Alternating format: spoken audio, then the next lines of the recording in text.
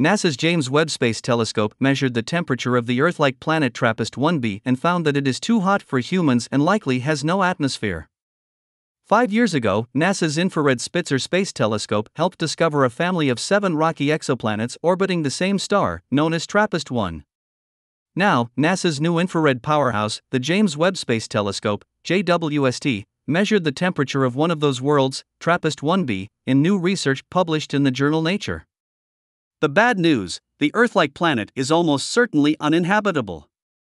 Astronomers used JWST's mid infrared camera, called MIRI, to look for the planet's thermal emission, think heat sensing Terminator vision. They found that TRAPPIST 1b is scorching about 450 degrees Fahrenheit, 232 degrees Celsius, about the temperature of an oven, and that it likely lacks an atmosphere. The discovery is another record breaking first for the JWST, which has been steadily producing newsworthy results since its launch. This is the first detection of any form of light emitted by an exoplanet as small and as cool as the rocky planets in our own solar system, NASA officials said in a statement.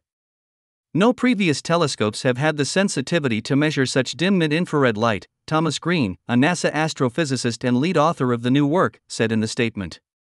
The initial discovery of the seven TRAPPIST 1 exoplanets spurred great excitement in the astronomical community, since all of the distant worlds are about the size of Earth and are located in their star's habitable zone, the region that's just the right distance from a star for liquid water to exist on a planet's surface.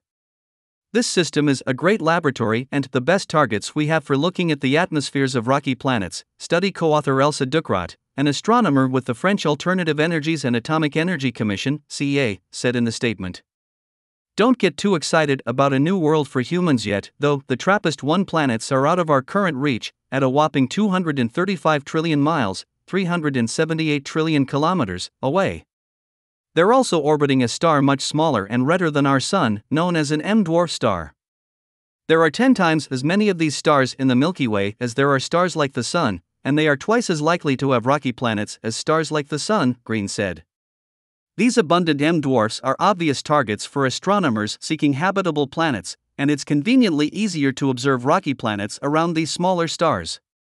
There's one catch, though M dwarfs are much more active than our Sun, often flaring and spewing high energy rays that could be damaging to budding extraterrestrial life or to a planet's atmosphere.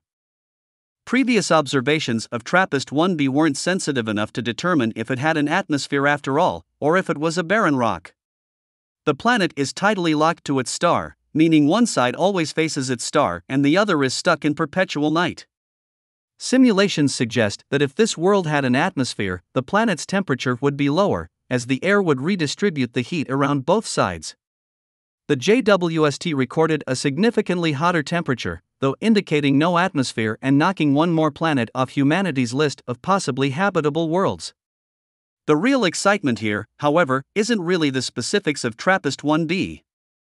Instead, the crucial takeaway is that the JWST is capable of these kinds of measurements and will continue to make more of them, exploring the atmospheres and temperatures of many other worlds. There was one target that I dreamed of having, and it was this one, study co author Pierre Olivier Lagage, also with CEA, said in the statement. Lagage is one of the developers of MIRI, the instrument that made these observations. This is the first time we can detect the emission from a rocky, temperate planet. It's a really important step in the story of discovering exoplanets.